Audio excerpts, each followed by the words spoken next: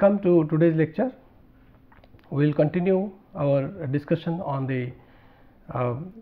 different types of computer uh, programs packages for use for fluid inclusion work and uh,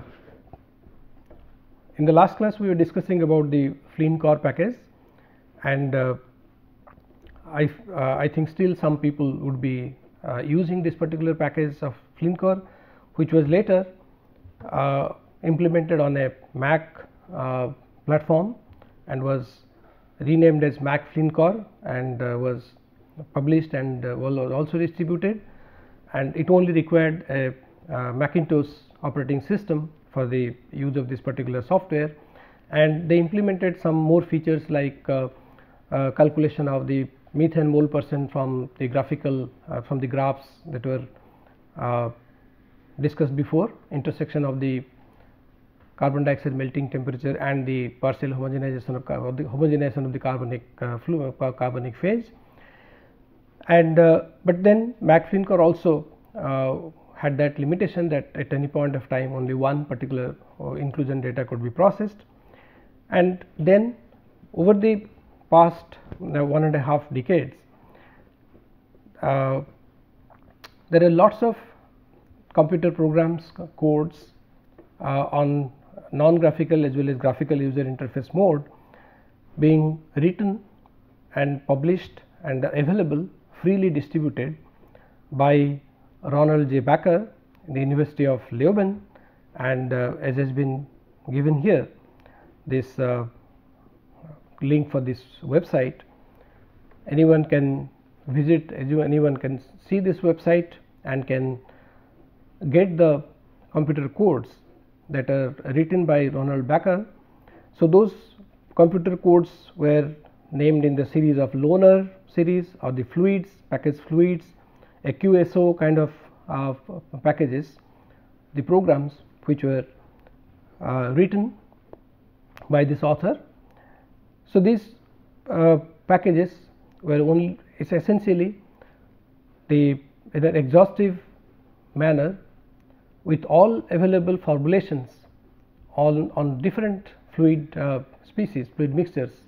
water with electrolytes with uh, with or without the gases only the gases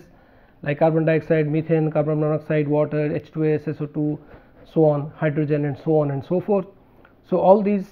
so with the uh, over the over the period of time there has been uh, many uh, workers who have been publishing on the refinement of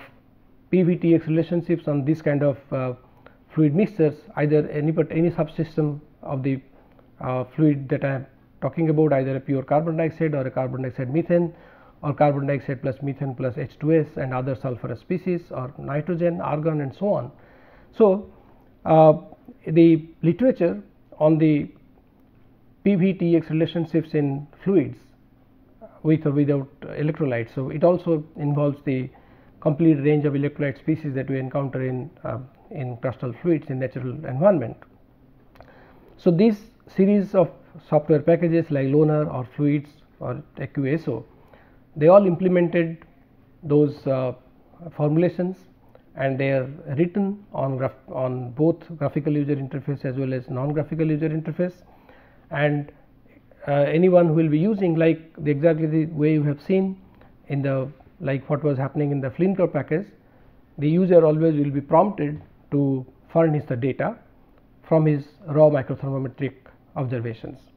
Often we will you will see that it is prompting for data to be given in volume percent and such volume percent calculations are made from visual estimation which I have from my experience which I have said I say that such visual estimation will always give you uh, value, but then sometimes they become a better option or the only option that is available if to calculate the uh, the volumetric properties. And in addition to what uh, this this particular software package is being uh, able to they give the output parameters for any fluid inclusion raw fluid inclusion microthermometric data they also can be used for computation of the other thermodynamic parameters like fugacity coefficients uh, etc., from the fluid inclusion data. So, uh,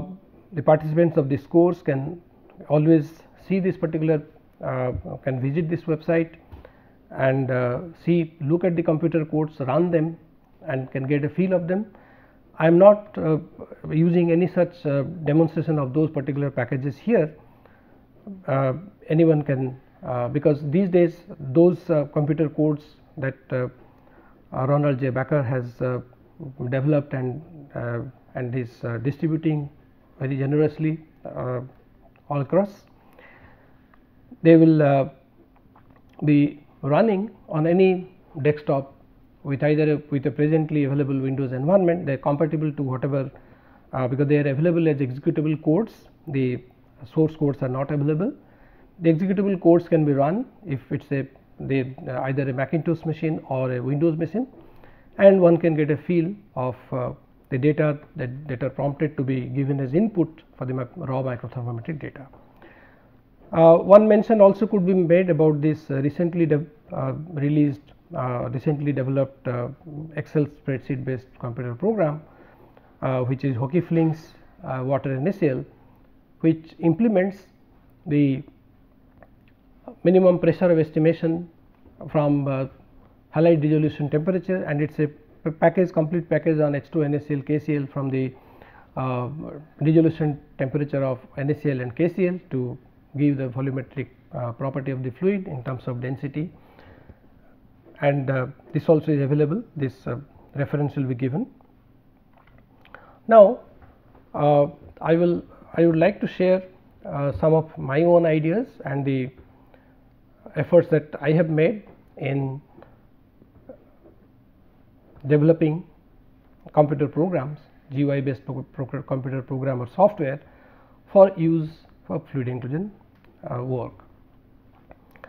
Now, uh, this uh, this table that I have given here is essentially is an is an idea that the first of all the requirement of a fluid inclusionist I will talk about a the requirement of a fluid inclusionist presuming that uh, the fluid inclusionist is not an expert in computers or he is not writing his own code those who can write their own codes or enjoy doing or writing their own codes and programs for their own work they definitely uh, would always do that. But those who would always like to uh, have something available to use for their fluid in, for analysis of their fluid inclusion data it will be more useful for them. Now, here the parameters TFM is temperature of first melting which corresponds to the eutectic temperature in a binary or a ternary whatever may be the system. The temperature of hydrohalite melting which sometimes is often uh, one can note observe very uh, if uh, carefully uh, by distinguishing from ice and hydrohalite as we have discussed. This is the temperature of melting of last ice. Temperature of liquid vapor homogenization one can always also put another parameter here whether the homogenization was to liquid or vapor. Temperature of dissolution of NaCl, temperature of dissolution of KCl or even if there is any other uh, phase that is there. Temperature of melting of carbon carbon dioxide, temperature of melting of clathrate, temperature of homogenization of CO2, then mode of this CO2 homogenization, any mole fraction of methane that could be measured by the intersection of the uh, carbon dioxide melting and the homogenization temperature or independently estimated from microanalytical method like uh, Raman spectrometry and then the temperature of total homogenization for mixed aqueous carbonic inclusion. Now, these kind of parameters or any other that one can always have this is all this is all that the data that is acquired in a in a routine microthermometric experiments. The one which are here FM, THH, TM, THLV and TDNaCl, TDKCl are for aqueous inclusions and TMCO2, THCO2 will be for pure carbonic inclusion with methane with, with or without methane and then TMCO2, TM clathrate and temperature of homogenization carbon dioxide and temperature of total homogenization would essentially mean that you are in a aqueous carbonic system. So, the whole the idea here is that instead of the user specifying or to specifying the uh, program that what system its inclusion belongs to, the system itself can be very well decided based on what microthermometric data one uh, has given. For example, if someone is giving a TFM and THH and TM THLV. So, this when the when these data are provided then the system is automatically is coming out to be an H2 NaCl system.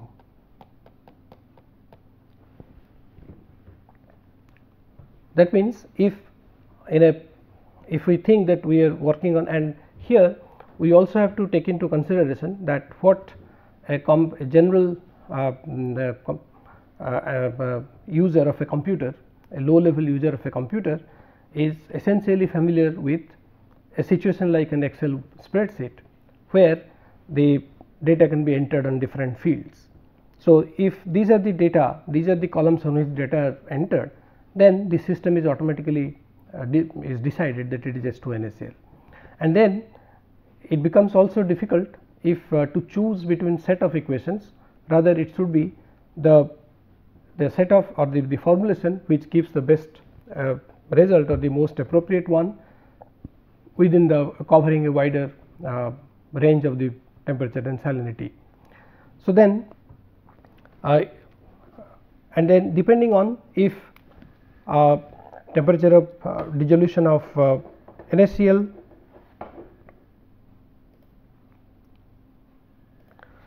suppose the data which are entered is temperature of dissolution of NaCl and temperature of homogenization that also decides that the system is a NaClH2 system. If it is uh, TD NaCl, TD KCl and TH, so it is a NaCl KCl H2 system. If there are data which are uh, this actually this logic is absolutely uh, developed here itself. If uh, there is a user which is giving the data for TM CO2 and TH CO2 only, then it is definitely is a pure CO2. And the equation that is going to be used here uh, is the one. So, because the fluid inclusionist always will even a quandary as to what which equation to use if he is not very familiar with the recent development of the PVTX relationships and which inclusion which formulation to use this gives a very uh, at least it takes away that much of uh, botheration that yes the the equation the system is chosen and the most appropriate equation to use for a volumetric calculation is also decided. Similarly, so if there is TmCO2, THCO2 and also XCH4 put here as one of the the three columns which are filled up then it is an H2O sorry it is a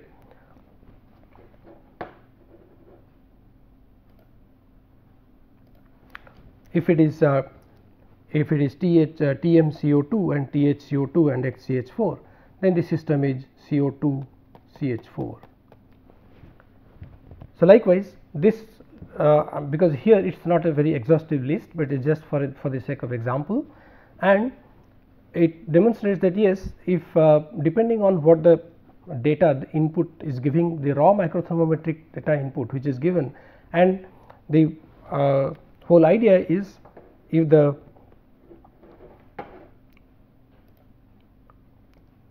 the requirement is that a standard user a fluid inclusionist would uh, during his course of his work would have acquired info data on all these types of inclusions. There could be an aqueous inclusion, aqueous uh, polyphase inclusion, carbonic inclusion, aqueous carbonic inclusion and so on. So, uh, in a in a particular project in a in a work uh, there will be a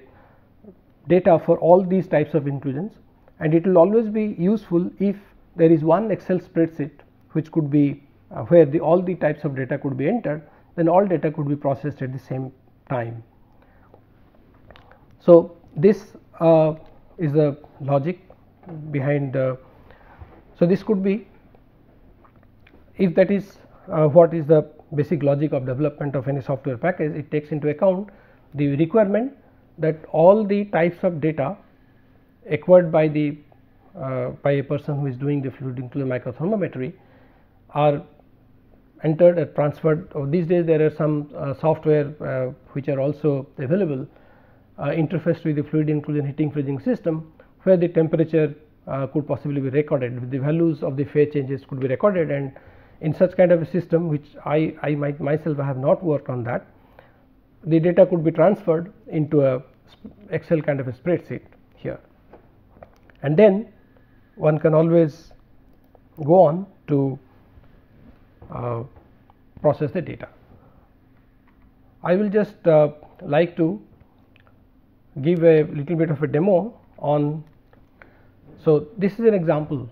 of what uh, this this particular package is uh, what is written here is Fluink was developed you, you know, on a Microsoft uh, Windows based uh, program and using the Microsoft Foundation class library, the MFC library which actually uh, after the Microsoft Foundation class library came up, then it became much easier to develop this kind of uh, uh, user graphical user interface uh, programs or the packages. So, what is what you could see here that this particular program was designed in generating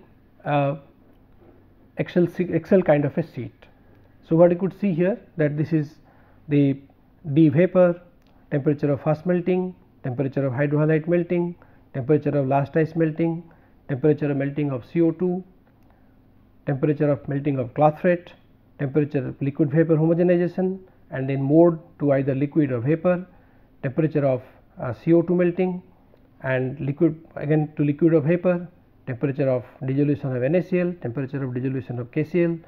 TH total. So, these and XCH4. So, uh, what is essential here is that these uh, many number of parameters are the ones which are the input parameters. So, once the input parameters are given, what are the possible output parameters that one would expect? It could be the first is salinity, then the system, the density and certain parameter which was at that time also thought to be important is the vapor by vapor plus liquid ratio. So, say for example, if uh, if I just enter a value for a uh, vapor and then diameter of the vapor and then temperature of fast melting and the temperature of hydrohalite melting. I will just give you some example. Temperature of last ice melting suppose I put 10.0 and here uh, as per the formulation the temperature of the depression of the freezing point even though we know it is uh, value is in negative uh, the formula has been the equation has been formulated taking the parameter as positive and then comes the TH liquid vapor and this is 200 suppose I put 200 degrees and uh, liquid and then here if I just say click of the mouse say update sheet then as you could see here that automatically that the system is NaClH2 that is coming out is the one of the output field. So, these many outputs so we can have many more these output field are added up are added to the input parameter that are given here and this is the salinity and the density which are calculated. Now, the user who is using this uh, does not have to decide which state equation of state is being used for calculation of density or which equation of equation which is being used for the calculation of the uh, isochore. And so, now uh, this is just one uh, small example and suppose from this particular uh, so what is the requirement we take into account the essential requirement for the uh, fluid inclusionist that he would like to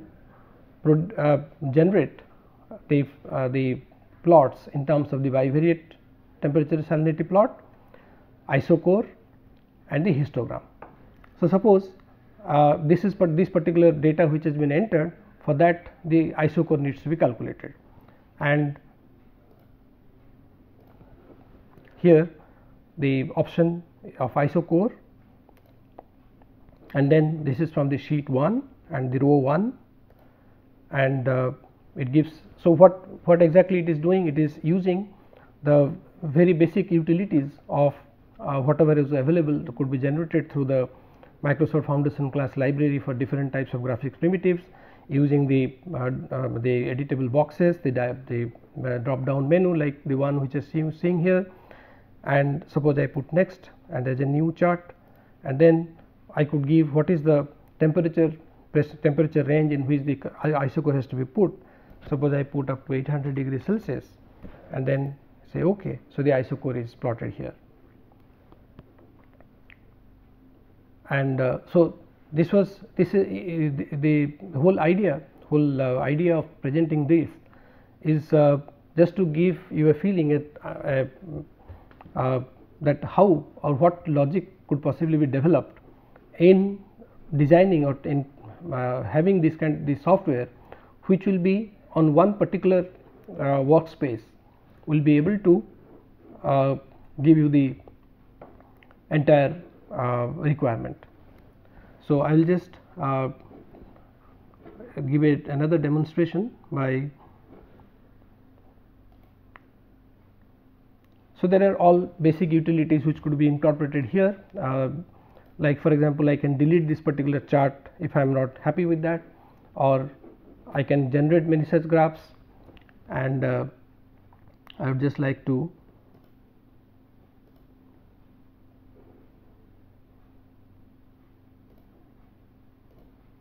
okay. So, this is a situation where I have already filled this uh, box up with data yeah another utility of uh, this kind of uh, situation here is that uh, the excel worksheet a, gen a, general user is very much familiar with working on excel like worksheet and it should have the provision for adding the number of uh, rows because the fluid inclusionist has generated data in hundreds and the uh, there should be scope for uh, entering or giving the input of the entire data set whatever has been generated. And uh, now suppose uh, this is a set of data which was generated on all aqueous inclusion and the basic data that was given is the temperature of melting of ice, temperature of liquid vapor homogenization, all homogenizing to liquid. And then we could see that I have just for the sake of demonstration given the same value of a diameter of the vapor phase that is measured at 25 degrees Celsius and the temperature of fast melting, temperature of hydrohalite melting and uh, which is uh, I have not taken into consideration here. So, suppose for example, somebody wants to uh, you want to draw a histogram. So, it could be so which among these are the when it takes into account the plotting of this uh, data it could be any of the input parameter as well as the output. For example, a temperature of homogenization is an input parameter and density is an output parameter one can always take uh, the data for plotting of any of them. Say for example, I will choose a temperature of homogenization uh, THLV to plot a histogram and uh, so I can I can get the and these are the essentially editable uh,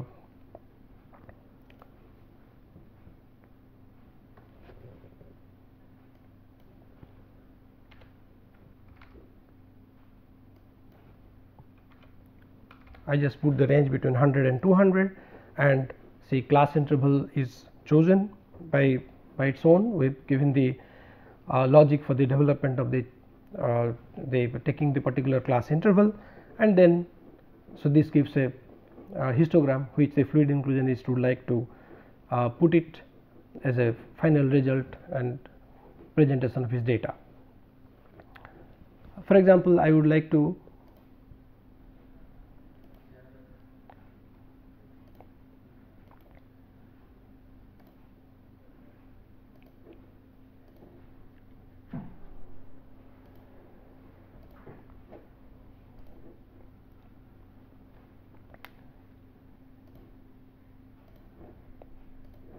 and let us say that we want to have a scatter graph. So, in the scatter graph we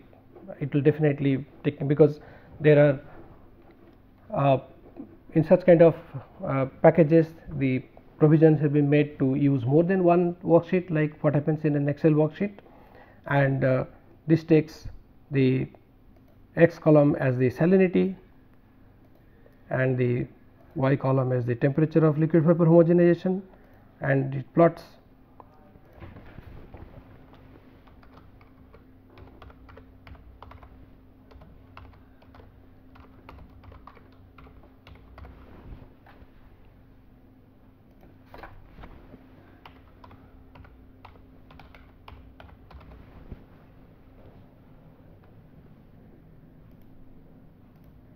So, we get our data and here we can change the maximum and minimum in the to get a better picture.